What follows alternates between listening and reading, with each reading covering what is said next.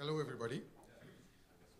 So uh, we will start our uh, session here on hardwood, and I would like to introduce you the, the gentleman who will uh, drive the show for this afternoon. It's Mr. François Robichaud, uh, eminent expert from uh, FP Innovation, our research center.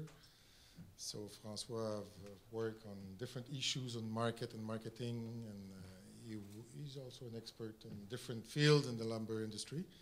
So François will introduce our speaker and do some uh, organization for this uh, session. François, please. I, I need it. I will start with the. So, welcome everyone to Montreal. Welcome to this uh, conference. Um, I will start with a few words in French, just to tell people that there won't, won't be much words in French. Bonjour, bienvenue à Montréal. Euh, je m'adresse euh, en français à ceux qui ne parlent pas anglais. Alors, la conférence aujourd'hui va se dérouler euh, strictement en anglais, mais si jamais vous avez des questions ou euh, vous avez euh, des fois des, besoins en traduction, ben gênez-vous pas pour demander soit à Bruno Couture. Bruno, est-ce que tu veux te lever? Bruno Couture, qui est directeur du secteur des bois feuillés au QWeb, ou encore vous adresser à moi, ça nous fera plaisir de traduire. Now back to, to English. We haven't said anything that would hurt you. Um, I was I was I was scared when they asked me to moderate this conference. I told QWeb that I I'm famous at forgetting names, so I said I will be standing up there and I will forget the speaker's name. So they said, "We'll figure that out. We'll send you over two Michaels, so you can't go wrong." So with those two Michaels uh, at end. I'm very pleased to, uh, to introduce this conference because uh, if you are coming from the hardwood industry, then you're probably a, a survivor. Uh, the, the, past 10 years, or at least the past seven years in the hardwood industry, have been very tough, and the world has changed. So uh, we used to look at Asia for uh, exports all over the world. Now we look at Asia for its domestic markets as well we look to look we used to look at Asia for China only. Now other markets are picking up in China. We see lots and lots of uh, phytosanitary or health-related issues uh, that are changing the way we trade lumber around the world. I'm sure our two speakers will talk about that. Uh, the environmental footprint and uh, traceability of wood uh, could have been called a dream of uh, green people 15 years ago. But now you speak to seasoned trader, and it's part of the daily life. So, so the world has really changed for hardwood. Um, and lastly, uh, we used to look at hardwoods because it's a very nice looking product. You know the color, the grain, the species. But now some nasty people look at hardwoods for carbon and energy. So, so basically, the way we look at hardwood has been changing. And I'm glad to, uh, to be here to introduce these two speakers. So we'll start with Mr. and I can't go wrong, I will call him Mike because we've known each other for about 10 minutes, so I can go for a more familiar uh, introduction. Um, Mike has been working with, and he has led also the Hardwood Publishing Company for over 30 years. Uh, Mike uh, has been uh, a Norton editor and uh, he analyzes domestic and export markets for northern hardwood species, uh, all the way from the sawmill through the supply chain to the secondary and end users.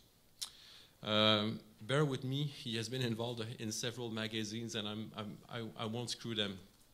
Uh, he's been working for the Weekly Hardwood Review, the Hardwood Review Export, the Hardwood Leader, and Hardwood Publishing's newest offering, the Hardwood Review E Global. So no doubt, Mike has been very instrumental in developing woodlogics.com, which is uh, Hardwood's publishing online full-service market research and buyer-seller service. And he's also responsible for serving customers' print and online advertising needs. So Mike, if you can uh, come over. Thanks for having me. Good afternoon. How's everybody doing? I'm going to start off with a couple uh, shameless plugs. Uh, he mentioned our publications. Uh, as you can see in the middle right there is the uh, Weekly Hardwood Review, and that is our uh, first publication that we started 30 years ago. Uh, in that, we survey the lumber markets all across North America and report the prices that we are seeing in the marketplace. These are historical prices of green, kiln dried uh, lumber. We also have a market commentary section as well as an editorial section in each week's issue. Then we also have our monthly publication, the Hardwood Review Global. That goes to about uh, over 70 foreign countries. And then we have a middle of the month publication that is emailed. It's a PDF called the Hardwood Leader. That is for more of the executive. It's a very quick read, gives them a good insight into what's gone on and what we predict will be going on. So that's the only publication that we actually do some forecasting. And then this is our uh, newest, which we started about a year ago in partnership with uh, AHEC. Um, and this uh, is an emailed publication. It goes to three different regions, goes to the Far East, goes to Latin America, goes to Europe. Uh, Europe is just in English. Um, the Latin American version goes in English and Spanish, and the uh, Far Eastern version is emailed in Mandarin as well as English. So that's, uh, that's my shameless plug and we'll get right into. There's the website uh, that he also mentioned, WoodLogix.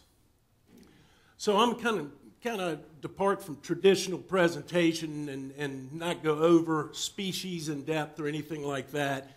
And I'm going to kind of look at five major market drivers that we're going to watch through the year of 2016.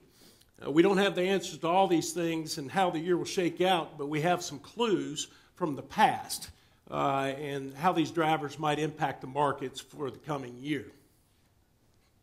So, looking back on uh, 2015, this is kind of a recap. We had uh, strong domestic demand. Uh, exports fell slightly, but the overall market was in pretty good shape. Uh, so they were down a little bit from 2014, which were some, some of our record highs. Let's look at our outlook on 2016. We still see uh, domestic demand is decent, maybe not quite as uh, robust as, as last year. Uh, exports are going to uh, trend down slightly, uh, in our opinion. So, overall, the year of 2016, we think it'll be flat overall. So, one of the first, one of the five things we're going to watch, and this is Mike Snow's big area. I'm just going to touch on it a little bit because uh, China is such a big part of what we do. So we're going to look at China a little bit. So exports were very uh, were very good in 2015, which to, which totals just slightly behind 2014, which were an all-time record uh, in Asia and Latin America as well. So you can see. Uh, 2015 there was in Asia was just slightly below the prior year and uh, Latin America, it uh, was almost equal, and Europe, as we expected, it was down. Now, why are exports worth talking about as a key driver of the hardwood markets? 41% of the hardwood grade lumber sawn in the U.S. ends up in foreign markets. That probably could even be closer to 50%. Why do we focus so much on China? 46% of U.S. hardwood exports went to China in 2014. Uh, in 2015, 47% uh, went to China, and that was through November, the last month that we had there. So that means one in every five uh, grade lumber boards cut is, is destined for China. So that's a big market. China is the first or second largest export market for every U.S. Uh, hardwood species but birch. Uh, for the top four, if you look, China accounts for more than two thirds of all U.S. exports, and China's market share grew in 2015 for all those items. So, as you can see, China is extremely important across the board. So, we'll look at uh, red oak as an example of one. Export volumes and trends are also important to watch because they're increasingly correlated with lumber prices. We can argue uh, whether exports drive prices or prices drive exports, and it varies by species but the relationship between the two is very strong for some species, including red oak.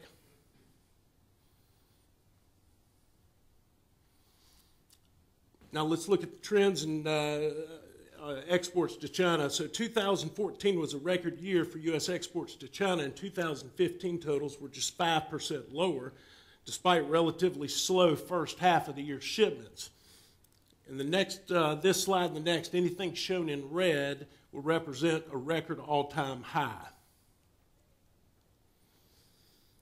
So if we look at the monthly trend, now this is where we should really pay attention to this, or the trends that you see on exports heading to China, because those trends tend to repeat themselves over and over. As you can see in 2013, we have a summer lull, things pick up October, uh, September, October, November, again September, October, November.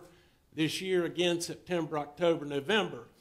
What's interesting you're going to see here is December is usually a slow month depending upon the timing of the Chinese New Year. So last year, we didn't see a huge drop off, but this year we saw a tremendous drop off. And then surprisingly, January's of 2016 exports were up pretty substantial. So as you can see what I was talking about there, the, the record was in 2014. Uh, 2015 was just slightly below. Now, if you take January and December and you average those out, even though we had a great January of 2016, if you average December, January, things are actually lower in 2016 than they were last year. So that is something to keep in mind that if this trend continues, uh, we could see some slower exports. So back to red oak and exports to China, uh, shipments of red oak uh, reached an all-time high in 2015, which is a very good thing, but only after a very slow start to the year, which we can see in the monthly volumes. So as you can see, red oak exports to China really grew in 2013. They were up 50 percent. 2014, they were up 19%, and then things did slow down quite a bit uh, last year, and it was up only 7%.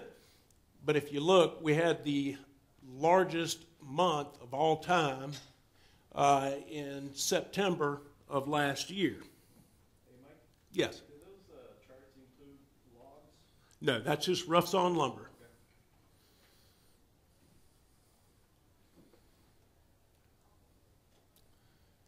Okay, this is, I'm going to go real quick go over ash because this really doesn't pertain to you all, but it uh, gives you an idea. But we, we look and we see a similar pattern with ash.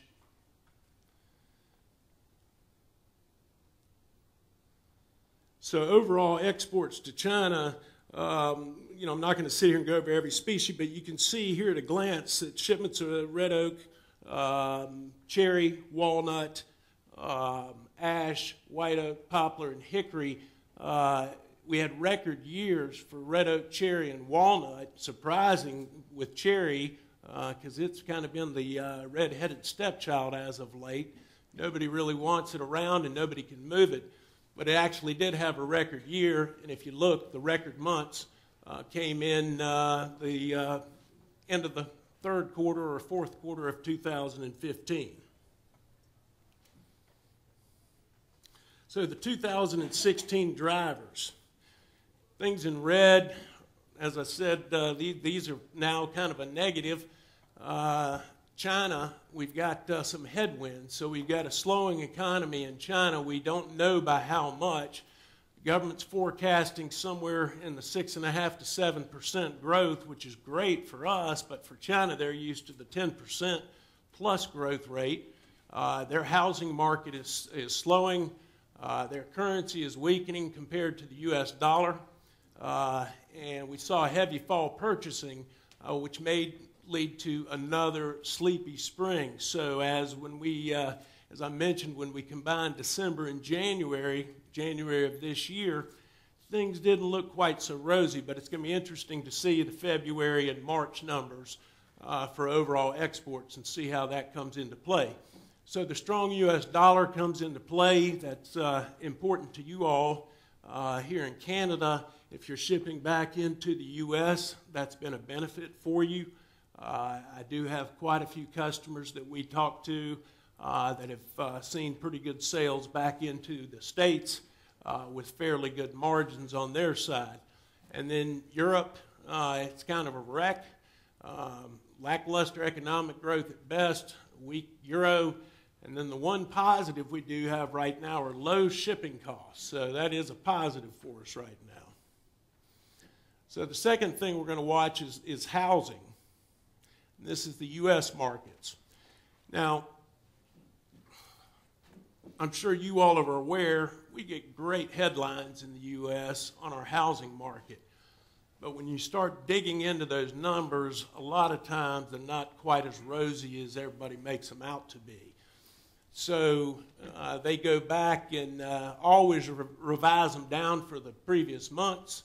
Uh, and when they do that, they don't make any kind of uh, uh, headline, uh, but they're usually a lot less stellar than they made it out to be a couple months previous to that. So the industry associations in the business of making the housing markets look strong. So the National Association of Home Builders, uh, and the National Association of Realtors, they both are there to sell houses. So they're going to make sure that their numbers uh, try to represent a robust and healthy housing market. So the census new home sales estimates are almost always revised down, as I said just a few minutes ago, uh, which makes the current month look better, uh, and the picture is uh, uh persistently rosier uh, by doing that. But let's look at uh, the annual growth in, in, new home starts and existing home sales in the U.S. So, uh, new home starts in 2012 were up uh, 24%, uh, 2013, 15, 2014, 5%. Then, when we look at 2015, it was forecasted. Uh, this is the National Association of Home Builders that uh, did this forecast forecast for 15, the actual was 9.3. Now they're forecasting 27% in 2016. There's no way we're going to come to close to that number. But if you look at the existing home sales, the National Association of Realtors, we feel like they're maybe a little, little more honest in their numbers. And in fact, in 2015, you can see there they forecasted 7% and hit it almost on the nose at 7.1. And they're forecasting existing home sales to uh, grow by 3% in 2016. So, housing markets uh, will do well to grow at half the pace of what they're uh, forecasting, and that would be generous. And we're actually thinking they'll be in the 5 to 7% range for new home starts and new home sales.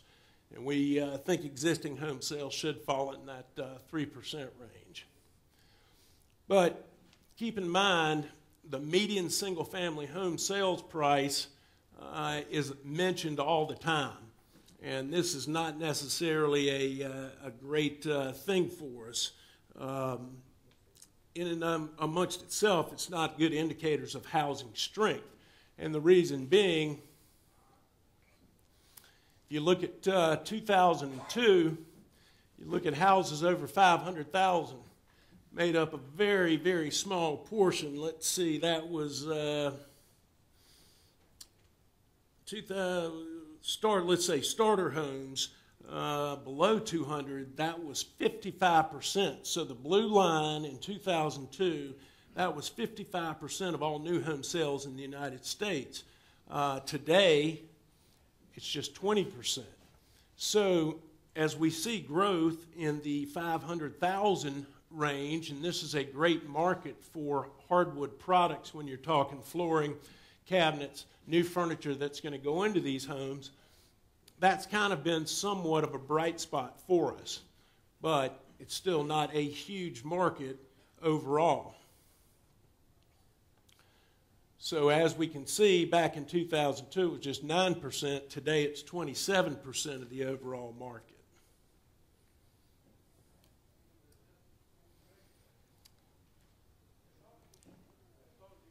So the new home sales price here kind of what I was talking about, the median and the uh, average, um, that number is not a great indicator.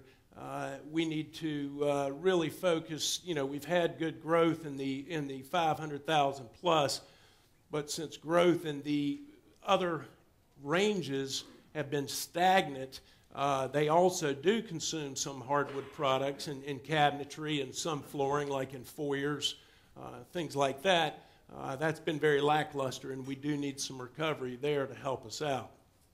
So 40, 43% of the growth in new home sales since 2011 have been homes over $400,000. Annual sales of homes under 200,000 have contracted another 18% since 2011. Barring sustained stock market woes, high end housing should, should, continue to do well in 2016. Again, we're not excited about growth in the low and middle end, uh, ends, and why, again, uh, that has to do with the job markets. So when you're dealing with the U.S. job markets, again, like all the, uh, the housing numbers, we get great headlines all the time. This is from the New York Times in December. Robust hiring in December capped solid year for U.S. jobs. So, uh,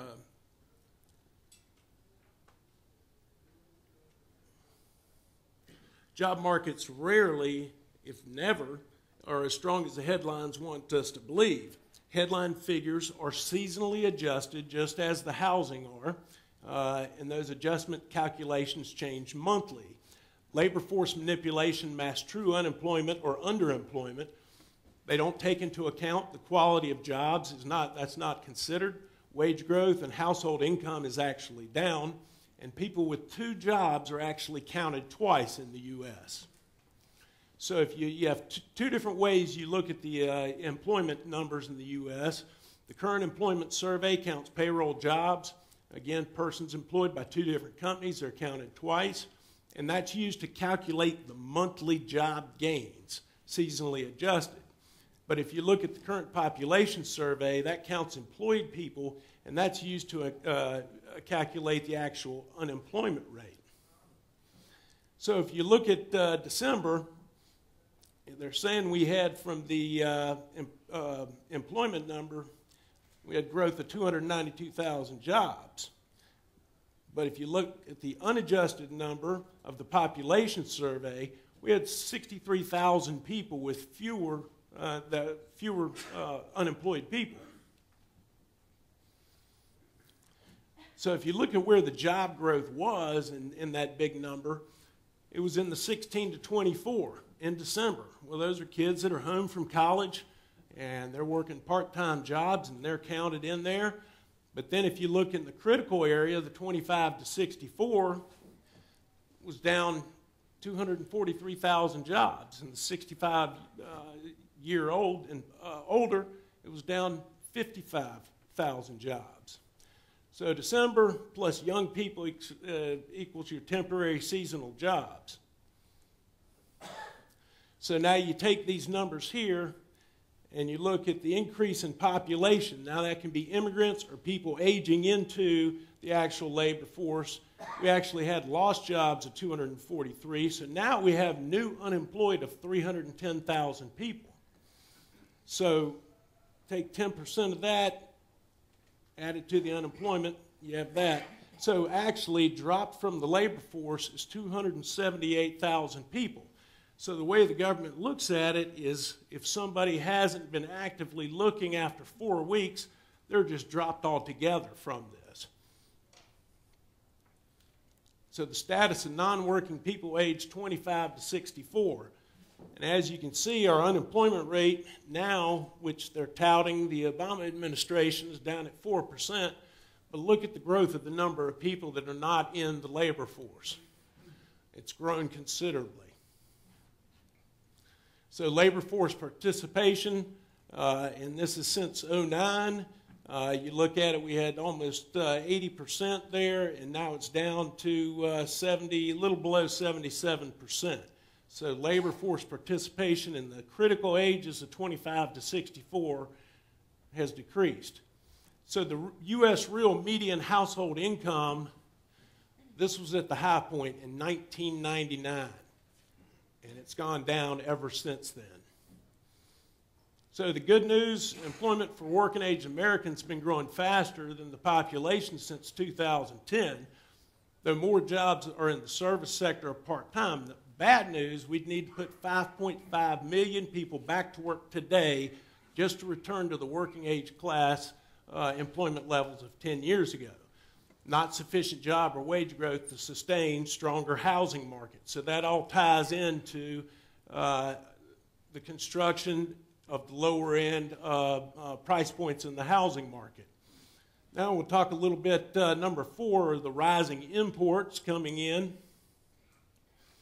And as you can see here uh, in the uh, furniture market, and we all know what happened to the furniture market in the U.S., and the domestic market has shrunk considerably. Imports uh, have risen dramatically.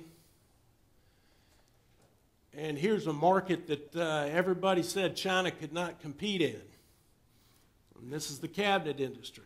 Everybody said there's no way that the Chinese can compete with the timelines uh, that people look for to get a, a new kitchen done for the remodel. Uh, but China has figured out how to do it, and they do it a number of ways. Uh, but they are also setting up uh, warehouses here in the U.S. where they ship the, uh, the knockdown boxes over uh, and the drawer fronts and doors, and they can actually put together a semi-custom kitchen and do it in the same time frame that uh, cabinet manufacturers in the U.S. and Canada can do. Canada was a huge, huge part of this in supplying cabinets to the U.S. markets, and their market share is uh, still continuing to grow, but it's eroding against the Chinese. Now, if you look at flooring, everybody said kind of the same thing about flooring when you're first talking about furniture. It didn't have enough value for the Chinese to take on, but apparently it did. So if you look at it between solid and engineered flooring from 2008 to where we are today, this is projected for 2015. These are in million square feet, so we're approaching a billion uh, square feet of flooring that's being imported. And China's accounting for 74% of that. Again, this is hurting the Canadian manufacturers because they're having to compete with these Chinese manufacturers. So, this is very interesting. The um, misclassification of a lot of the flooring uh, coming into the U.S., the Chinese used to uh, hide a lot of that uh, under plywood and other products. Uh, and then they changed the tariff schedules in 2013 to try to capture more of that. Uh, and as you can see, uh, the import share grew dramatically. Uh, and if you look at 2015, quite high. So the strengthening U.S. dollar comes into play for you all selling on the world markets and selling back into the U.S. Uh, can be a benefit. Uh, for the United States, it's tough going. We're going to see more import pressure coming into the U.S., uh, and then uh, the strength of the dollar against the euro is going to make uh, sales into Europe even, uh, even more difficult. So, rising finished good imports are not a direct impact on U.S. lumber producer. Indirect impacts, it, it hurts domestic customers requires more export volume uh, to make up for it. Uh, again, thinking about the furniture exodus, the firming U.S. dollar will accelerate imports uh, again in 2016. Now, this is really important when you're dealing with is your low-grade market. 60% of that log is going into the low-grade components. In 2015, we saw strip flooring and uh, flooring prices collapse. Frame stock uh, prices softened, cant softened, board road softened, crane mat softened. Uh, we saw a slight year end increase, kind of an anomaly. Uh, allowed tie prices to soften despite strong demand. We've had very good demand from uh, the railroads, But here in Canada, keep in mind the board road and the crane mats are very important. Um, but with the softening of the oil market, demand for those products are going down. So as you can see, these are prices for these low-grade components uh, from 06 through 2013. And uh, you can see there what's happened to the uh, red oak, the flooring oak, where you can see the prices have really fallen off.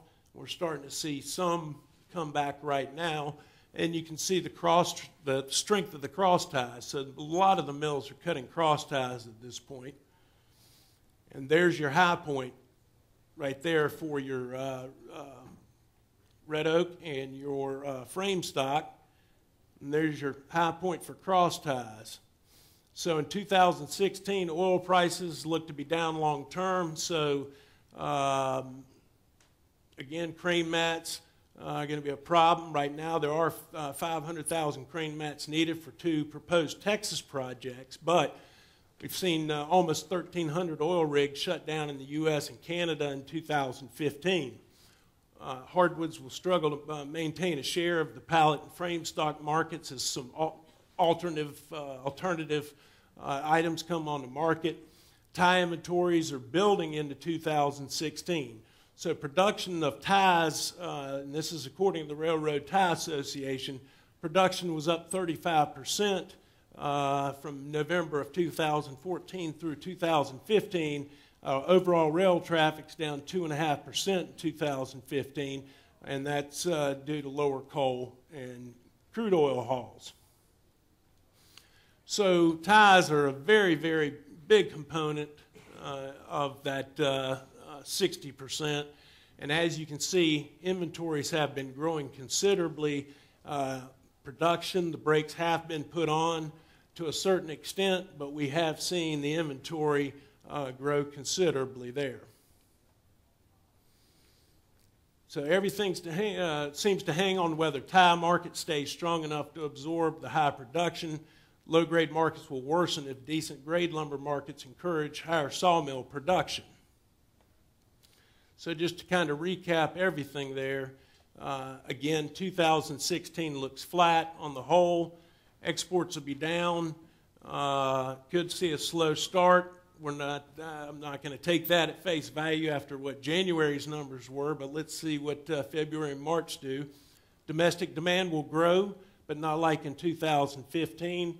Again, that's held back by slower housing growth, lackluster jobs, election uncertainties, market worries, etc. Imports will continue to be a uh, challenge for, for everybody in the domestic markets, and we'll see some weakening in the low grade markets uh, and that's where a lot of the profit comes from for hardwood mills. So that's, uh, that's my take on the market uh, looking into 2016.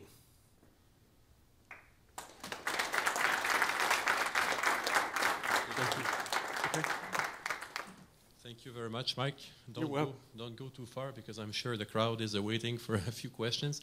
So I will have at least one for you. Okay. You have talked, Mike, about a lot um, uh, some industries like furniture who have been offshored uh, to China, uh, even the kitchen cabinet industry is now experiencing this. In your trade or industry, do you see some of, reshoring occurring? We do. We do see some companies coming back because of the rise in uh, wages that we're seeing in China. Or uh, some companies are actually looking for other markets where they do have cheaper uh, wage bases, such as Vietnam, and then we see the emergence of India as well.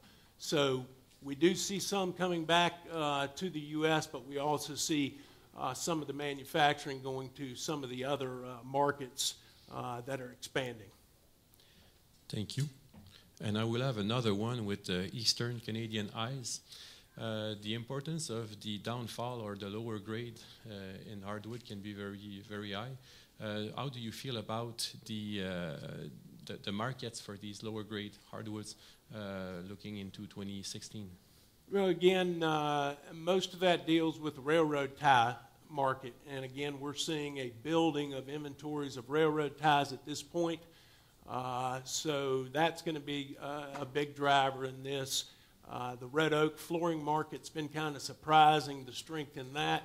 So again, that uh, ties directly into home, new home construction and remodeling. Uh, So if that market uh, surprises us and stays rather robust, we'll see some good demand there for two and three A red oak. And then depending upon what the railroads do, that's going to be a big part of it. Thank you. So, oh yes, we have a question here.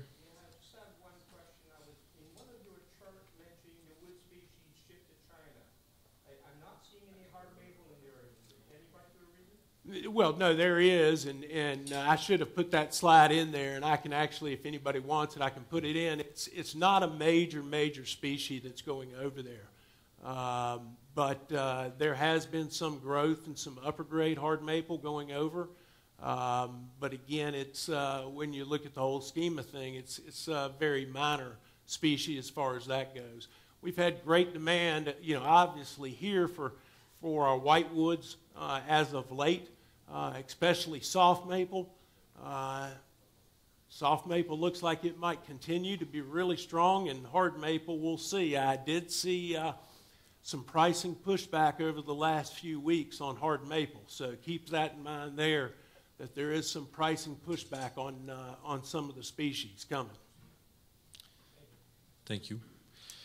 So with that, I will uh, don't don't go, go away as of yet. Uh, we, need- we want to thank you. I will uh, invite Mr. Nicolas Aubert. Is Nicolas around?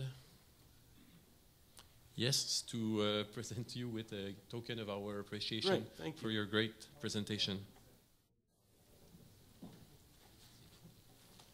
Thank you very much. Appreciate it. Thanks. Thank you.